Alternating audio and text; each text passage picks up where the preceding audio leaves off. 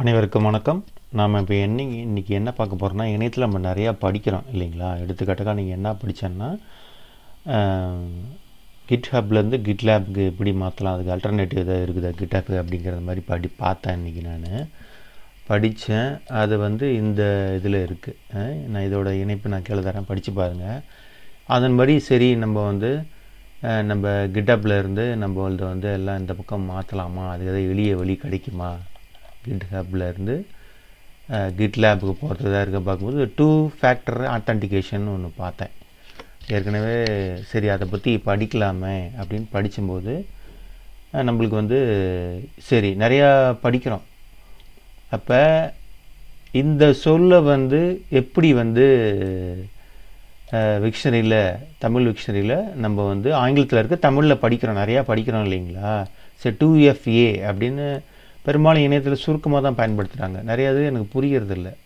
நிறைய பேர்த்துக்கு புரியறதில்ல. அதுக்கான விளக்கம் தேடும் போது இப்போ இதில் விக்ஷனரியில் தேடுறேன் நான். எப்படி தேடுறேன் அப்படின்னா சரி விக்ஷனரிங்கிறது எப்படி வரணும் முதல்ல அப்படிங்கிறதுக்கு முதல்ல பார்ப்போம் நம்ம. இப்போ இதில் வந்து விக்கிபீடியா தான் உங்களுக்கு நிறைய பேர்த்துக்கு தெரியும் இல்லையா? நிறைய பேர்த்துக்கு அது தெரியும். அதனால் விக்கி விக்கிபீடியா அப்படின்னு தேடுறேன் நான். தேடும்போது விக்கிபீடியா வருது. இது அழுத்தின பிறகு இதில் பார்த்தீங்கன்னா கீழ் இணையம் ரொம்ப குறைவாக இருக்கனால மெதுவாக வருது. சரி.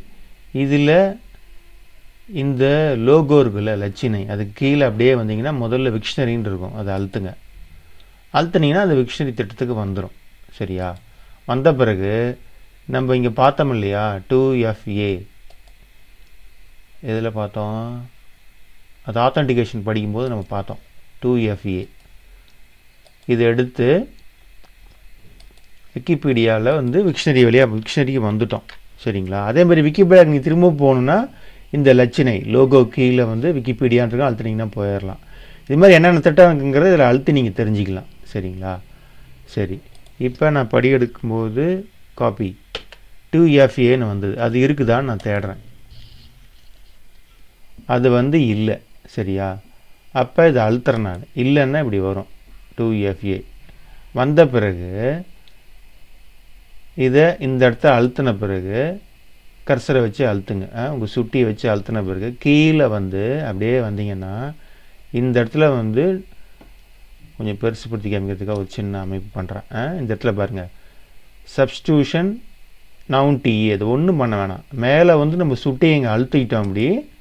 அழுத்தின பிறகு அப்படியே கீழே வந்தீங்கன்னா இது மாதிரி நவுன் டி இஎன் e, எழுதுகிறோம் இஎன் e, ஆங்கிலத்தை குறிக்கிது.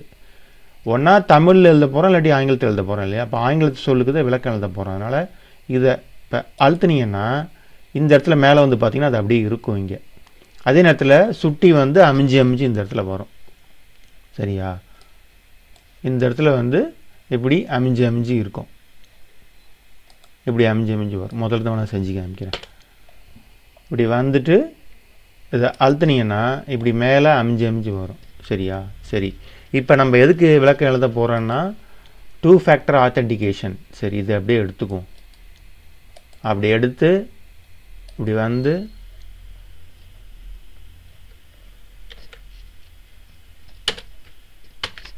சரி.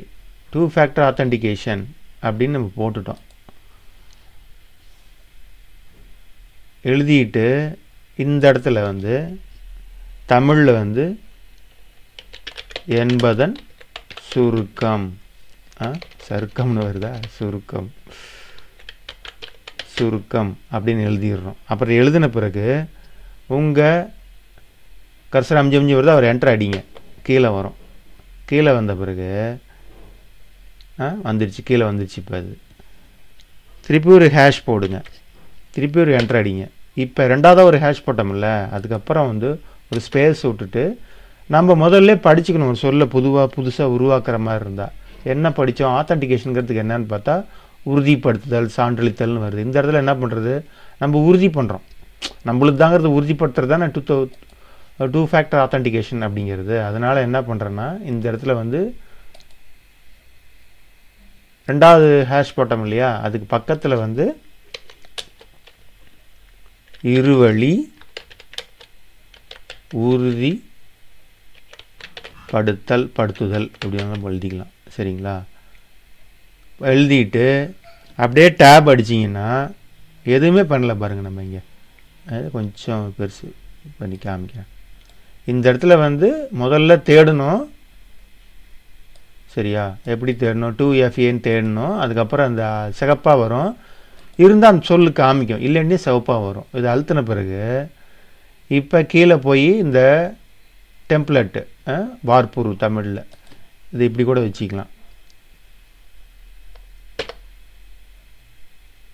டூ ஃபேக்டர் ஆத்தன்டிகேஷன் என்பதன் சுருக்கம். சரி.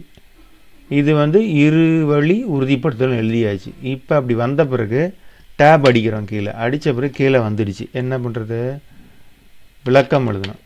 விளக்கம். இல்லாட்டி இப்படி அந்த அதே திருப்பி எழுதலாம். இரு வழி உறுதி படுத்துதல். உறுதிப்படுத்துதல்.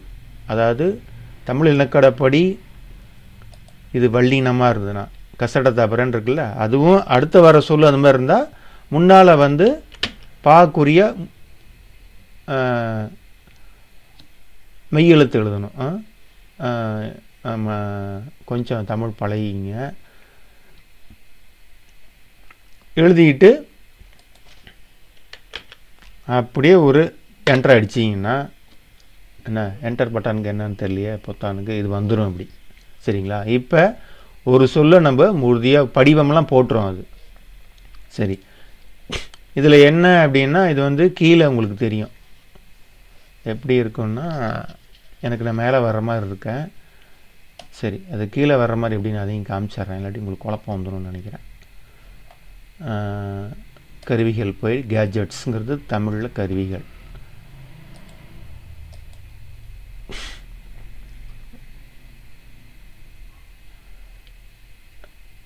சரி இப்போ அண்மைய மாற்றங்கள் போவோம். அப்படின்னா என்ன? இந்த லோகோவுக்கு கீழே லட்சணை கீழே.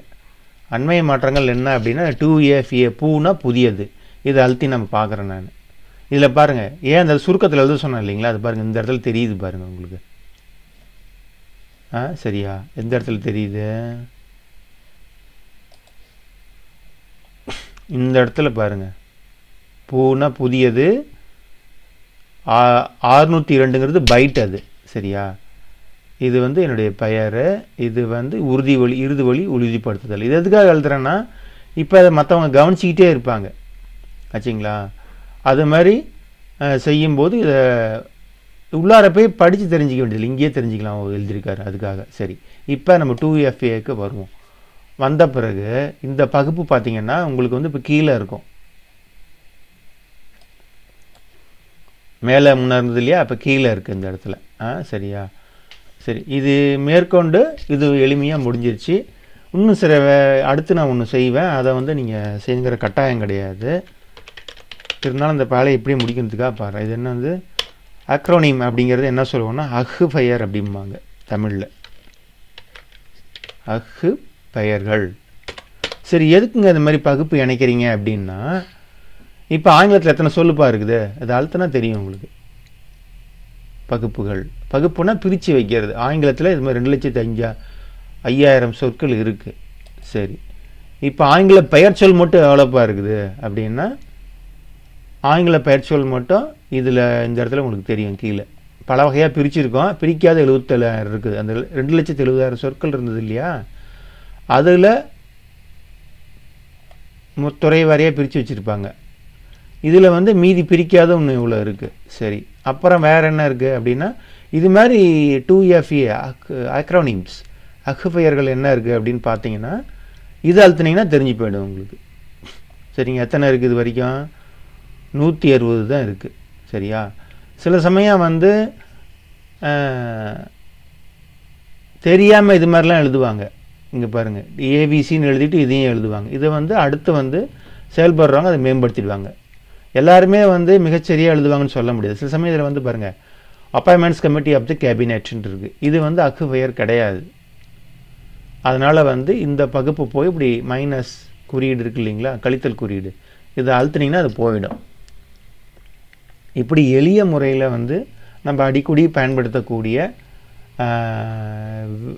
சொற்களுக்கு வந்து தமிழில் வந்து ஒரு சின்ன முயற்சி பண்ணும்போது அது வந்து கொஞ்சம் கொஞ்சமாக கொஞ்சம் கொஞ்சமாக பெருசாக வளரும். சரிங்களா? இப்போ இது வந்து இன்றைக்கி விக்கிக்காக நிறையா எழுதணும்னு நினச்சேன். ஒரு அறிமுகம் வந்து எழுதணும். இப்போதைக்கு வந்து விக்கியில் எத்தனை இத்தனை திட்டங்கள் இருக்குது அப்படிங்கிறத நம்ம அடுத்த இதில் பார்ப்போம். ஏன்னா இப்போ நான் ஏன் சொல்லலைன்னா இந்த மீடியா விக்கிங்கிறது இப்போ சூரியகாந்தி பூ இருக்கு இல்லைங்களா? அதுக்கு பதிலாக இப்போ வேறு லோகோ மாற்றிட்டாங்க இதை நான் மாற்றணும் அதுக்காக தான் காத்திருக்கேன். வணக்கம்.